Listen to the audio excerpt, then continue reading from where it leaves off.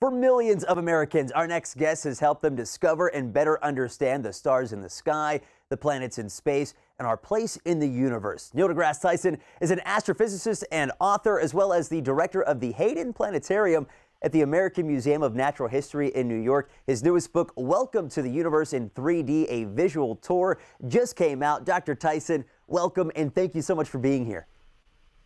Th thanks for having me. And by the way, you guys, just as a community, all the weather folks, are the most scientifically literate people on the airwaves or on, on anywhere you find news reporters. So the world needs you. Just, well, I just I, want you to know that. Okay? I appreciate that. We're gonna. I mean, you're starting off on a great note already. We love you for that too. of course, you are a role model for so many, including myself. What got you interested in space and the stars growing up?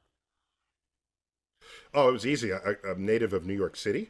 And as most kids do in their hometown, if the town is large enough, there's a local planetarium. And so, uh, as a family trip, we visited the Hayden Planetarium. And I was nine years old, and the lights dimmed, and the stars came out, and I was hooked. I was, dare I say, star struck by it.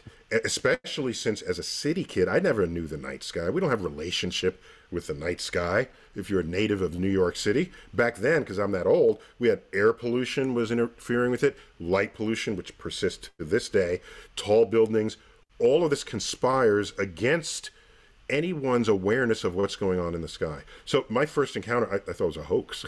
I said, aren't that many stars in the sky? I know. I counted them in the Bronx, okay? There's eight of them. So, but I was hooked ever since. And, oh, and, we, and, now I'm the director of the planetarium.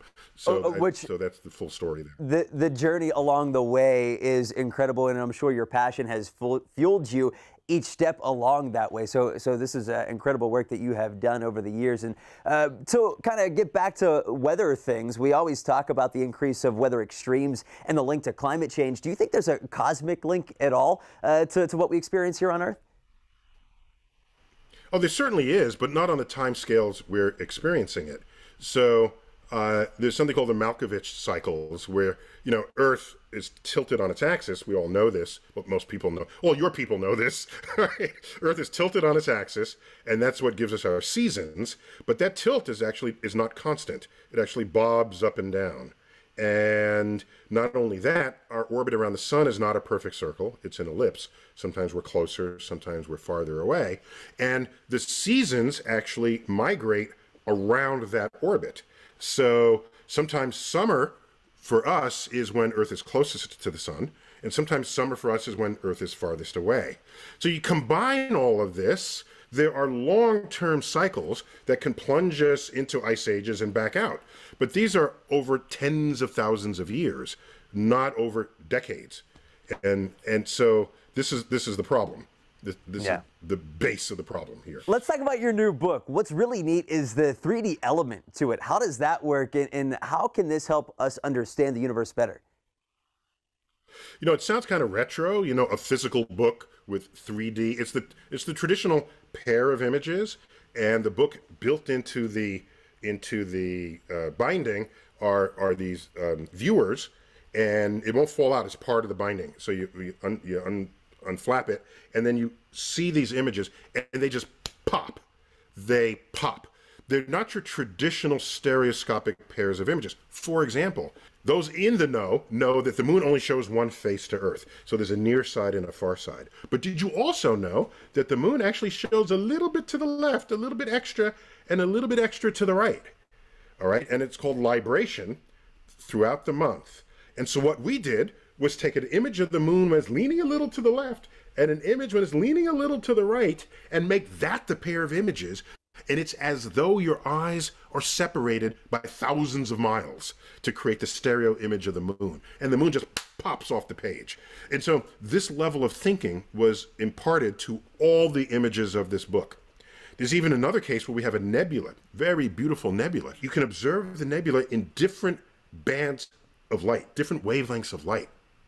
And so when you do that, different parts of the nebula come alive to your two different eyeballs, and the whole nebula just pops. It's like, whoa! It's almost a little psychedelic, right? Because your eyes are, your brain is making one image out of these two bits that contain most of the same information, but the little bits that that's different is what your brain then creates the 3D image for.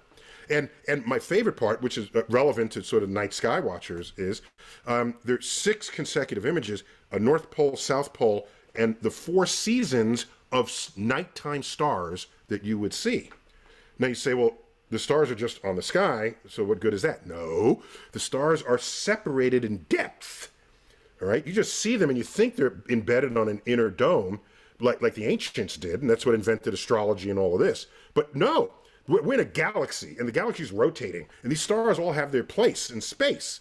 So with the viewer, the constellations pop into three dimensions, and you say, "Oh my gosh, no, it's not a lion or a centaur or or a crab. It's just stars scattered in space." So there's a there's a whole running lesson plan there if, if you want to get into it.